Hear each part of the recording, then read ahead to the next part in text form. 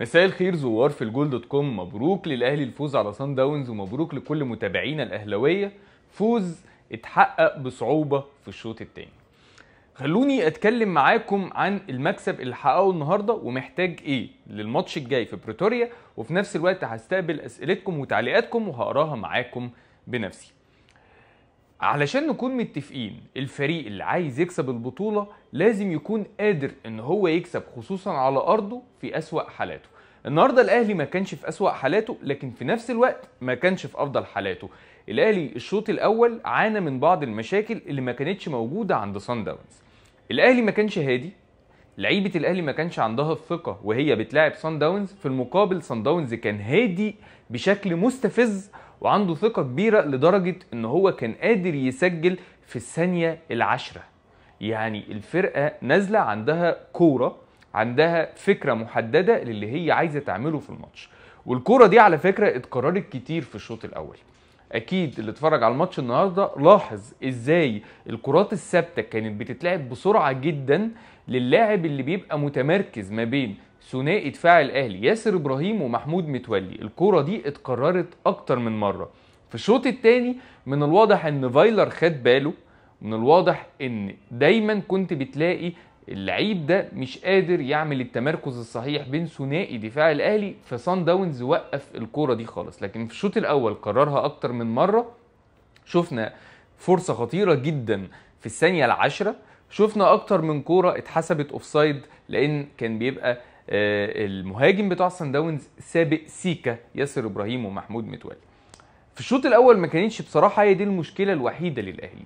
النهارده كلنا عارفين إن سان داونز كان بيلعب من غير اتنين من أهم أسلحته الباكين مورينا ولانجرمان.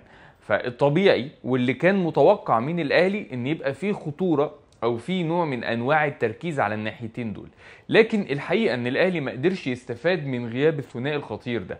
لكذا سبب. أول سبب إن حسين الشحات الحقيقة لعب يمكن أسوأ شوط ليه مع الأهلي من ساعة انضمامه للفريق. حسين الشحات بقاله فترة مش في المستوى. لكن مباراة النهارده الحقيقة لما نيجي نقيم أداء حسين الشحات على مدار 60 دقيقة اللي لعبهم ولا قرار صح خده حسين الشحات. بالعكس كذا كورة اتقطعت منه وشكلت خطورة كبيرة جدا بسبب سرعات اللي عند سان داونز لكن الحقيقة إن الجنب اليمين النهارده ما كانش منه أي خطورة بسبب غياب حسين الشحات عن المباراة. إحنا ممكن نعتبر إن هو فعلا ما شاركش في المباراة.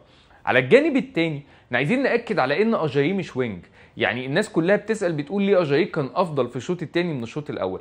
الحقيقة إن الشوط الأول كان اجاييه مرمي على ال wing بشكل مش بيخليه يقدم أفضل أداء عنده. يعني اجاييه حتى كمان لما تطلب منه إن هو يلعب wing لازم تطلب منه إن هو يزيد في عمق الملعب يدخل منطقة الجزاء علشان يبقى ثنائي هجومي مع مروان محسن أو أليو بادجي. لكن وهو موجود على الخط مع علي معلول ما تستناش كرة حلوة من أجاييه ما تستناش إن أجاييه يعمل لك الإضافة اللي أنت مستنيها. لو تفتكروا لما رمضان صبحي كان في أفضل مستوياته. لما كان جاهز ما كانش مصاب. كان فايلر بيعتمد على حسين الشحات ورمضان وأجاييه وكان الثلاثه بيعملوا نوع من أنواع اللامركزية في الهجوم علشان يخلخلوا أي تكتل دفاعي قدامهم. لكن في غياب رمضان صبحي والاعتماد على مروان محسن مروان محسن مش بيخرج بره منطقة الجزاء كتير. فبيضطر أجاييه إن هو يلتزم بمكانه على الوينج مع علي معلول. من هنا بيبقى أجاييه خطورته قليلة جدا.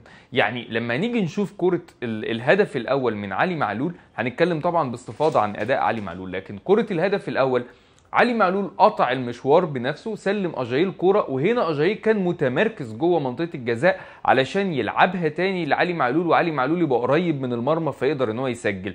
الكرة دي لما كانت بتتكرر في الشوط الأول كان بيبقى اجاييه قرب الكورنر. فكان بيضطر إن هو يلعب لعلي معلول الكورة على على مكان بعيد من منطقة الجزاء فعلي معلول كان كان على طول بيرفع كرات في كرات منها كانت بتبقى خطيرة لكن لما أنت تيجي تشوف أداء علي معلول في الشوط الأول هتلاقي إن علي معلول كان بيرفع. ومع ذلك أنا شايف إن علي معلول كان الوحيد في الأهلي في الشوط الأول اللي عنده يعني قرار صح. أغلب لعيبة الأهلي في الشوط الأول كان عندها قرارات غلط. علي معلول حتى وهو بيرفع هو مجبر إن هو يعمل كده. ما كانش قريب من منطقة الجزاء علشان يعمل زيادة أو يتدخل ويتوغل جوه منطقة الجزاء. ف الحقيقة إن الشوط الأول الأهلي كان مش في أفضل حالاته. كان في نقطة كمان مهمة جدا إن أي لاعب في الأهلي كان بتوصل له الكرة على حدود منطقة الجزاء كان بيشوط. والحقيقة أنا مش عارف إذا كان هل ده تعليمات فنية من ريني فايلر ولا ده يأس من لاعبي الأهلي إن هم مش قادرين يخلصوا من التكتل الدفاعي لعيبة صن داونز فبيضطروا إن هم يسددوا من بره منطقة الجزاء. لكن في النهاية هو قرار غلط يعني سواء هي كانت تعليمات فنية من ريني فايلر أو سواء كان قرار من لاعبي الأهلي. فيا جماعة اللي واقف في الجول أونيانجو يعني من أفضل حراس القارة إن لم يكن أفضلهم. مش بالطريقة دي هتسجل في مرمى. وكلنا شفنا أغلب الكرات دي كانت كلها أصلا off target مفيش حاجة بين الثلاث خشبات يعني. حتى كمان لما قفشه جرب في الشوط الثاني أونيانجو كان واقف وكان قادر إن هو يتصدى للكوره دي. فالحقيقة إن هو موضوع التسديدات ده ضيع على الأهلي فرص كتيرة جدا كان من المفترض إن هي تكمل وإن هي تروح لجوه منطقة الجزاء. طيب ده الشوط الأول واتكلمنا إن الأهلي ما قدرش إن هو يستفاد من غياب الباكين الأساسيين آه لصن داونز. كان في مشكلة في القرار عند حسين الشحات وعند أغلب اللاعبين اللي بيضطروا إن هم يسددوا من بره. أجاييك كان بره منطقة الجزاء فكان مروان محسن للأسف مرمي لوحده جوه. يمكن الكرة الوحيدة اللي مثلت خطورة للأهلي كانت من عمرو السولية. كرة طولية حلوة جدا. no pass آه no آه آه ما كانش ما كانش يعني ما كانش مفترض إن هي تبقى ال pass بالشكل ده بس هو لعبه بشكل كويس جدا. راحت لحسين الشحات ومن حسين الشحات لعبها بشكل كويس جدا لمروان محسن. يمكن هو ده القرار الوحيد اللي خده حسين الشحات صح في المباراة. ومروان محسن لعبها بكعبه لكن مرت بجوار القايم وصفر الحكم بعدها بنهاية الشوط الأول. في الشوط الثاني الحقيقة إن الوضع اختلف في الأهلي تماما. أول حاجة إن كان في نوع من أنواع الضغط البدري شوية على دفاع سان داونز من لعيبة خط الوسط فكنت قادر تشوف إن عمرو السولية بيخطف الكورة بشكل كويس وبيعمل آه يعني تحرك كويس بالكورة لحد ما يلعبها لعلي معلول اللي قطع مشوار حلو جدا وسلم الكورة لاجاييه اجاييه بقى كان مكانه فين؟ اجاييه ما كانش مرمي على على الجنب ما كانش لازق على الخط. اجاييه كان قرب منطقة الجزاء فقدر إن هو يسلم الكورة تاني صح جدا لعلي معلول وعلي معلول يسدد أو يسجل الجول الأول. طيب أنا عايز أتكلم عن علي معلول الحقيقة بشكل منفرد. أنا علي معلول دايما دايما لما تيجي تبص على أداء الأهلي هتلاقيه هو المحرك لأداء الأهلي. كل هجمة حتى اللي بتبدأ من ناحية اليمين لازم علي معلول يبقى حاطط بصمة عليها. تلاقي اللعيب في خط وسط الأهلي دايما اللاعب اللي في خط وسط الأهلي ومعاه الكورة بيبص يمين وشمال ويدور على علي معلول. وأول ما يلاقي علي معلول يبصيله الكورة عشان علي معلول هو اللي يحط بصمته وهو ينقل اللاعب اللي قدامه. وهو ده اللاعب الكبير وهو ده اللاعب اللي قادر إن هو يغير لك سيناريوهات الماتش وقادر إن هو في وقت ما أنت ما تبقاش في أحسن حالاتك الفرقة مش في أحسن حالاتها قادر إن هو بأداء ومجهود فردي إن هو يصنع لك الخطورة ويسجل لك. علي معلول مش بس مميز فنيا علي معلول عنده شخصية القائد اللي بيعاني الأهلي من غيابها. الحقيقة الأهلي في نهائي الوداد وفي نهائي الترجي وفي الخمسة بتاعة سان داونز السنة اللي فاتت كان بيعاني من غياب القائد. علي معلول موجود دايما في الأوقات الصعبة. علي معلول كان هداف الأهلي الموسم اللي فات في الدوري الصعب جدا والنهارده علي معلول هو اللي بيحسم لك الماتش. علي معلول عنده شخصية الحقيقة بتتميز عن أي لاعب في الأهلي. في وقت ما بيكون الأهلي في أسوأ حالاته هو مش بيقف مكانه. دايما قادر إن هو يتحرك صح دايما قادر إن هو يحرك زمايله صح. فبالتالي بتلاقي إن علي معلول هو صاحب البصمة حتى كمان في ركلة الجزاء اللي هو ما يعني ما هي في ركلة الجزاء حصل عليها باجي وبعد الكورة مع اجاييه اللي تألق جدا في الشوط الثاني الحقيقة. لكن علي معلول بهدوء هو اللي بيسجل منها عشان هو يستحق اللقطة الحقيقة. هو أفضل لاعب في الأهلي وهو اللي بيستحق اللقطة. طيب إيه بقى بعيدا عن علي معلول؟ ياسر إبراهيم النهارده كمان أنا بصراحة عاجبني جدا أداؤه. ياسر إبراهيم في كل ماتش بيزيد خبرة في كل ماتش بيزيد ثقة في كل ماتش أداؤه الدفاعي ثابت. النهارده شراكته ما كانتش مع رامي ربيعة كانت مع محمود متولي ورغم كده عمل أداء ممتاز جدا. كذا كورة اتقطعت من حسين الشحات ويمكن واحدة هو لبس انذار بسببها وتعصب جدا لكن كان قادر إن هو يصلح الغلط اللي من زمايله.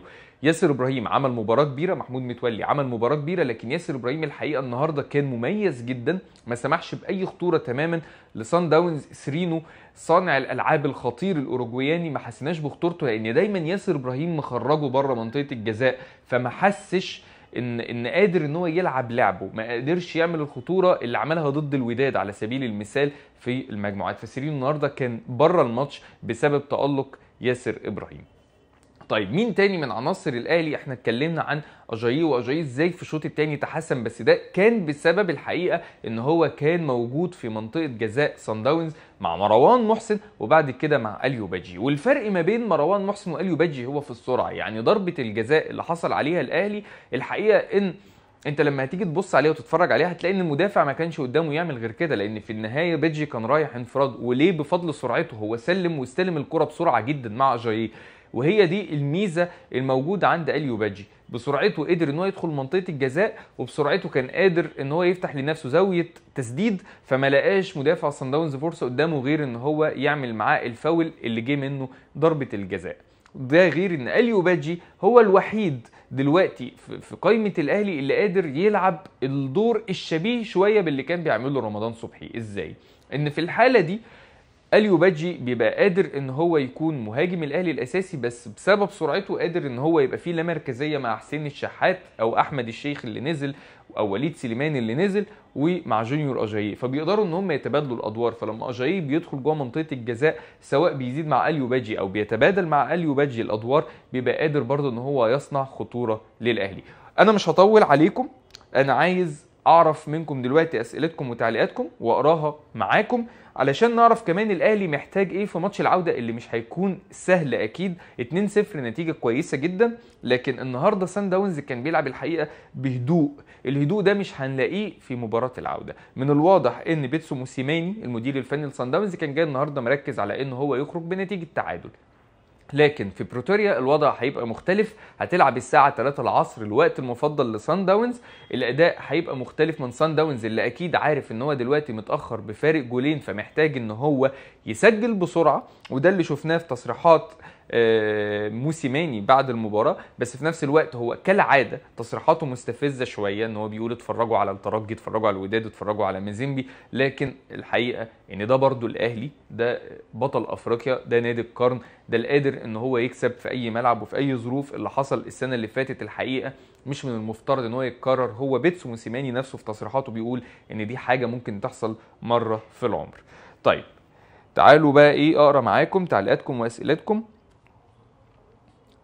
أه شايف إننا نلعب بأسلوب إيه عندهم دفاعي ولا عادي؟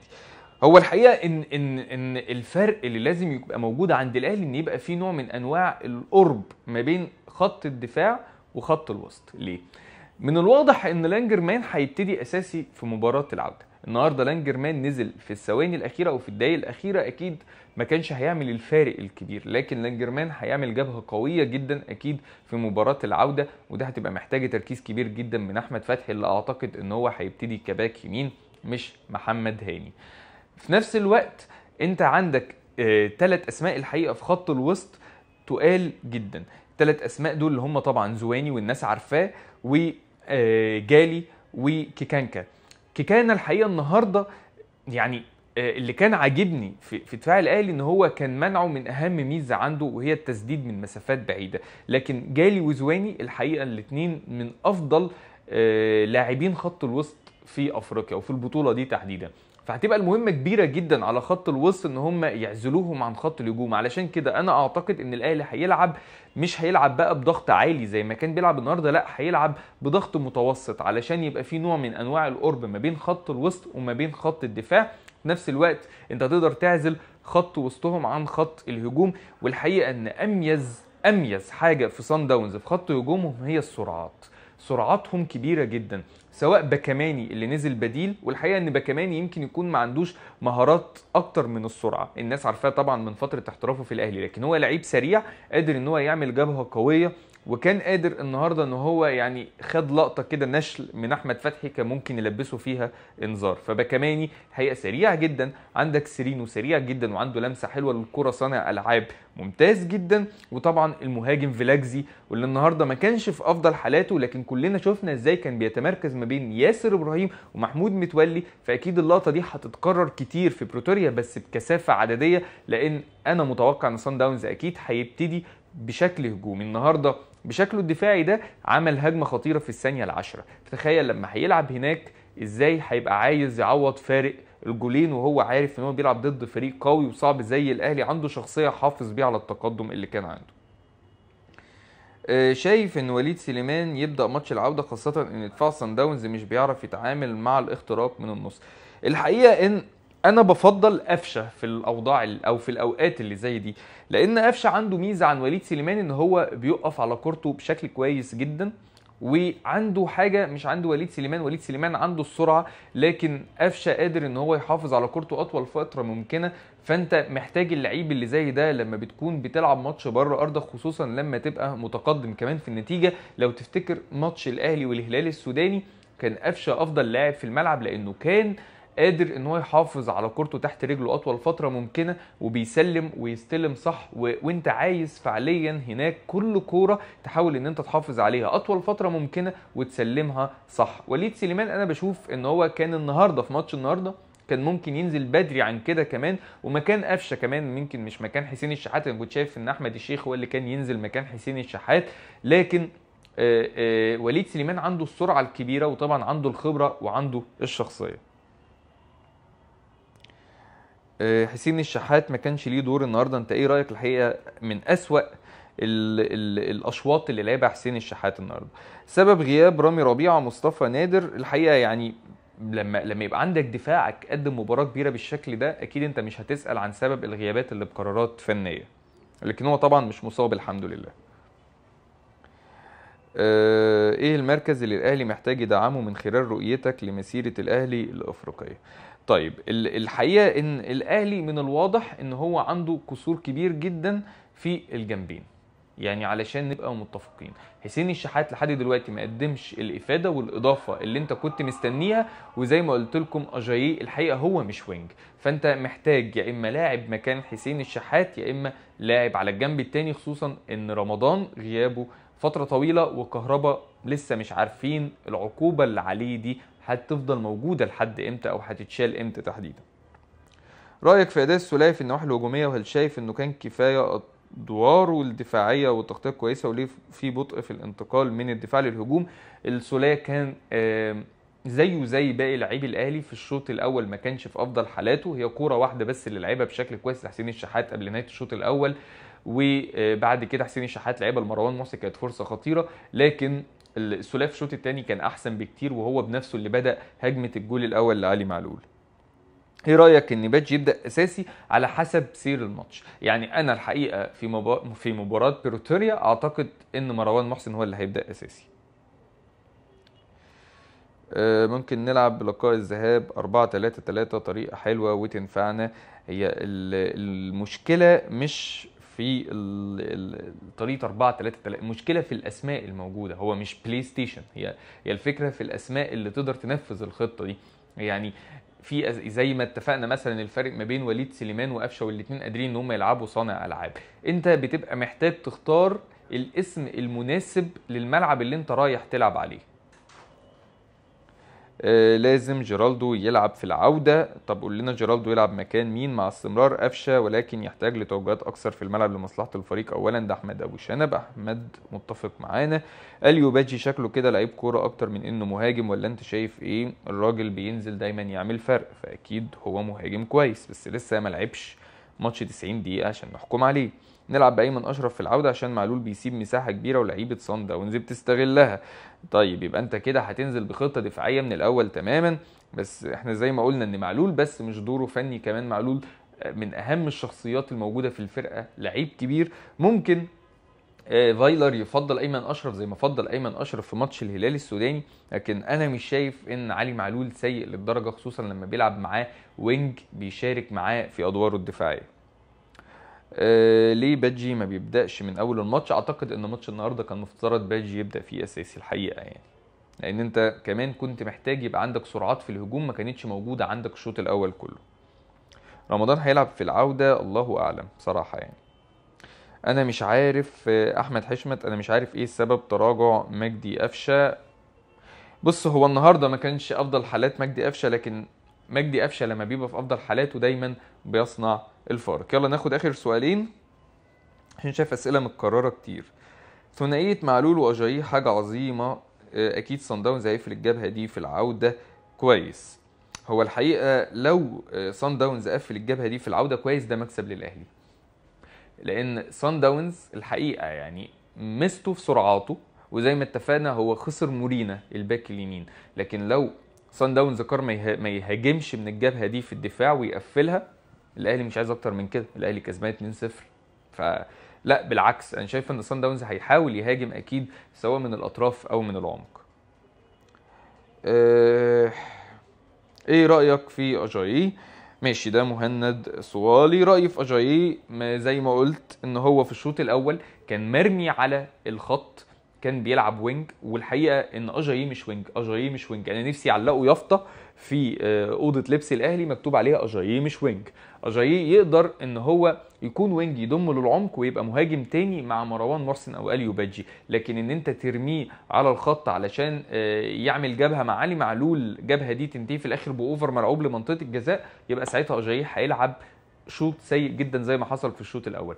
لما اجاييه يدخل جوه في العمق يبقى بأدوار إن هو wing بيتوغل جوه العمق هتشوف أداء أفضل منه. هتشوف إن هو اللي بيصنع الجول الأول لعلي معلول وهو اللي بيصنع ضربة الجزاء اللي حصل عليها إليو بادجي شكرا جدا ليكم. أشوفكم في live جديد قريب. ألف مبروك للأهلي وإن شاء الله التأهل يبقى من بريتوريا زي إن شاء الله تأهل الزمالك من رادس.